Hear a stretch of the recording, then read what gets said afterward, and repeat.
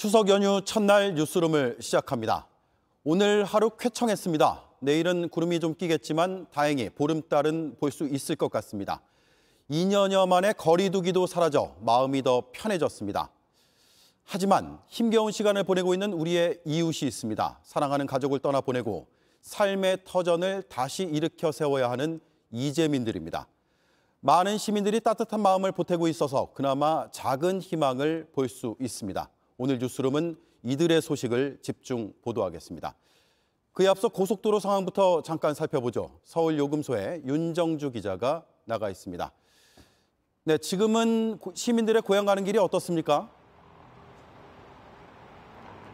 어제부터 이어진 기성길 정체는 오늘 새벽 잠시 심해졌다가 정오를 기점으로 조금씩 풀렸습니다.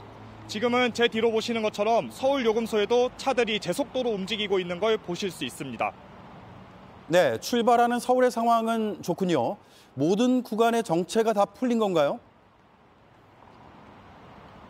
지금은 서울에서 부산까지 4시간 반 정도면 도착하실 수 있습니다.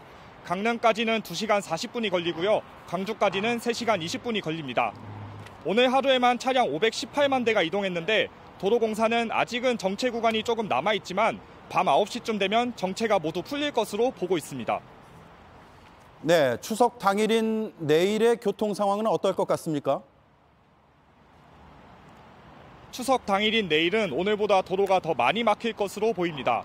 내일 하루에만 차량 649만 대가 이동할 것으로 보이는데요.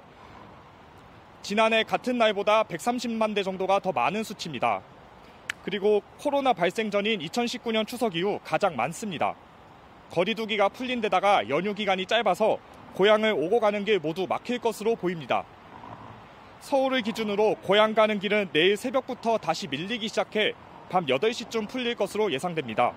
또 돌아오는 길은 오전 9시부터 막히기 시작해서요. 추석 다음 날 새벽에나 풀릴 것으로 보입니다. 네, 윤정주 기자 잘 들었습니다.